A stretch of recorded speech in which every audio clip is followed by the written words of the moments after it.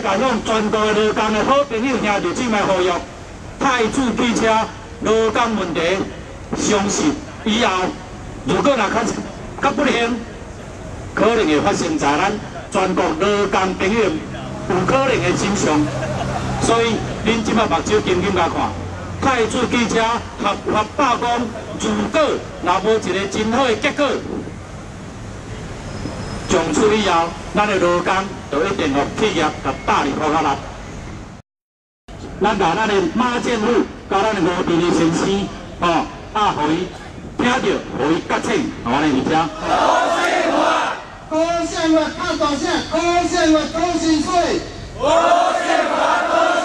要呼吁咱的马建武，哦，咱的吴炳林先生，希望透过这场会议，我相信你目睭无青盲。健康无臭味人，应该有。要薪水，我等你，我等你，我要生活，我要生活，我要薪水，我要薪水。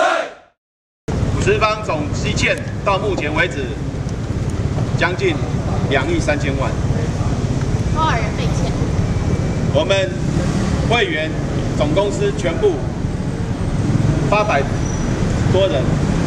被他欠了两亿多，今天不是员工不挺公司不挺老板，是老板做的太过分了。这次欠了九个月，从两三年前我们就开始跟人家借钱过生活，现在跟家人朋友借，或或者有有很多人他们已经不借我们了，因为什么时候还，老板什么时候发钱，他都不确定。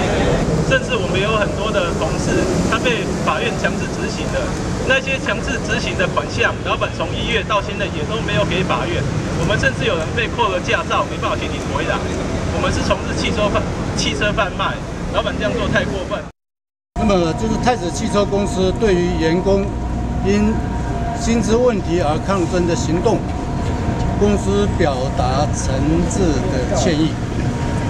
那么公司并已积极进行下列工作，那么以解决员工薪资问题。完全。第一。公司已提供工会充足的担保品，以确保员工权益。二，公司同时紧急筹措现金，只要现金到位，立即发放。呃，公司亦积极处理。那么，太子汽车公司有绝对的诚意解决问题。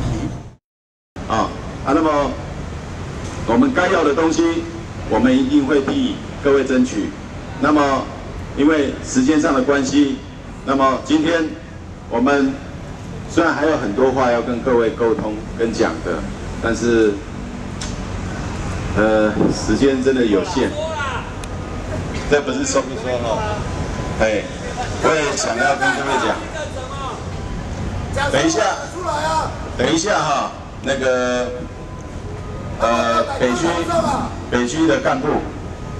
北区的干部，李市长讲出来啊！